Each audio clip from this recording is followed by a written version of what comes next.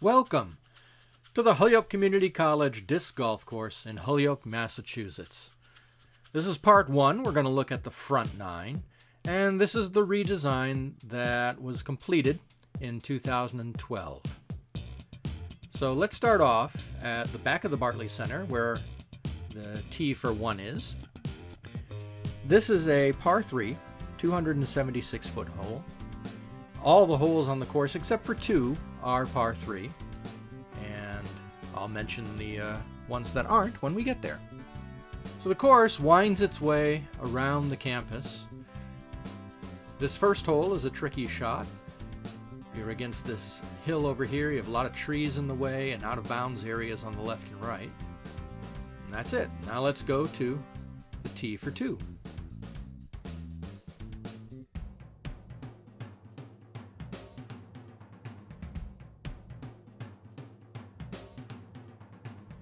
This is a uh, another par 3, 342 foot hole.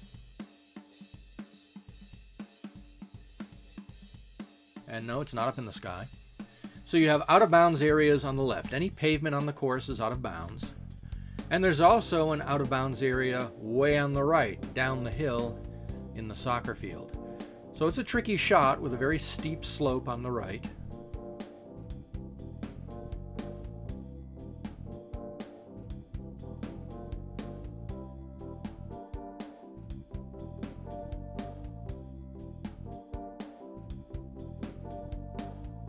When the course was first created, these trees that you see were quite a bit smaller. And there's the basket for two.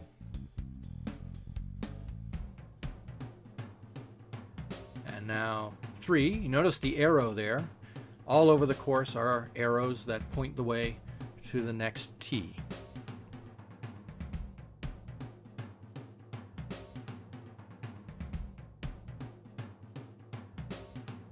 So here's the tee pad for three. Tricky shot. You can either shoot through these trees or around to the right, or you could do an anhyzer to the left, and we're going to go straight through the trees.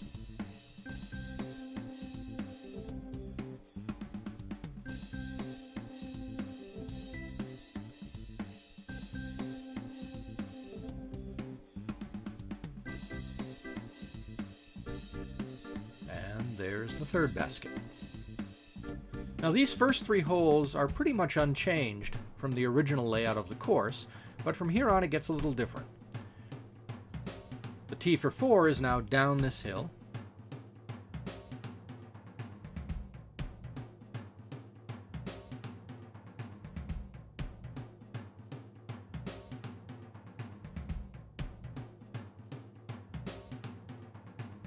Right there. And this is the longest hole on the course. It's still a par 3, 411 feet. This is the most wide open shot on the course.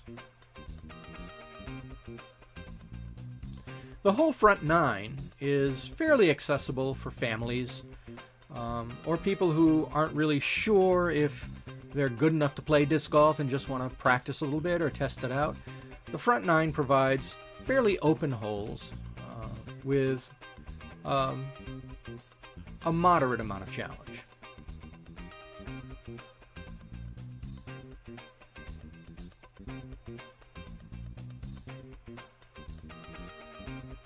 And there's the basket for four. And now we're going to go up the hill, across the parking lot, to the tee for five.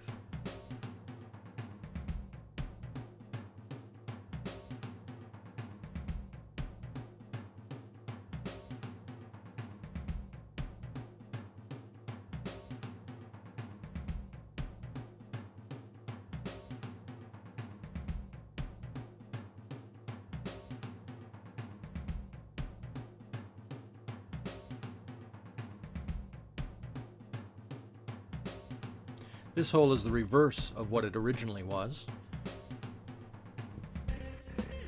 It's a 331 foot hole. You can see the pin way in the distance below the tree there. So again, another tricky shot. There are no gimmies on this course.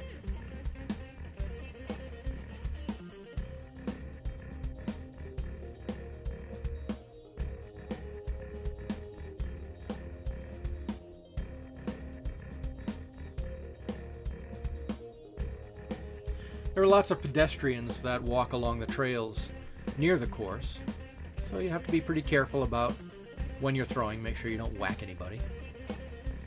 And there's five's basket. And now, to get to six, we're going to go across the road.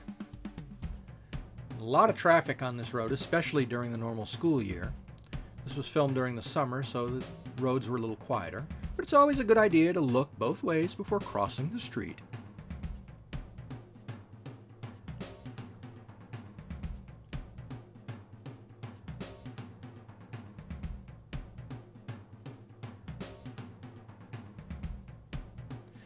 And in this little park next to the college is the tee for six. This is 245 feet. And plenty of obstacles here with the park benches and the trees and the flagpole. It's a really good idea to keep your disc low on this hole.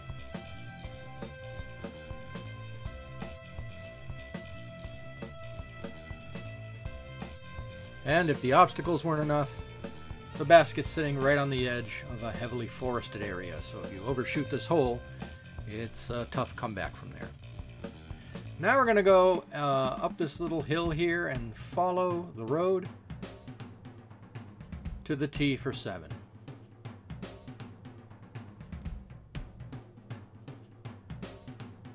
No, I didn't have too much to drink when I made this video.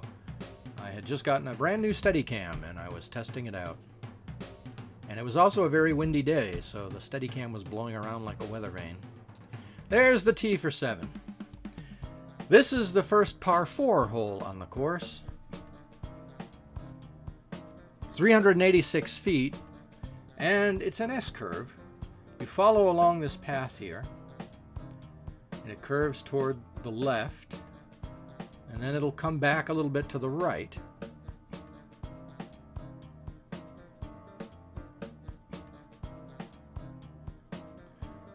As you can see, there's plenty of wood around here to give you trouble.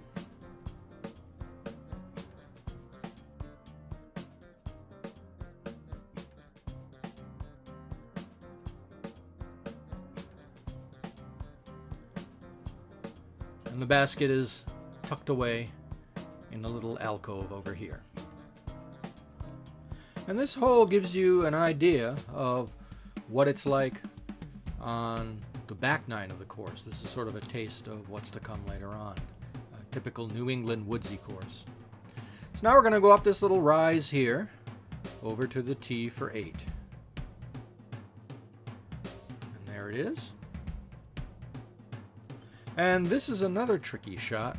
Got a very narrow alleyway to get through here.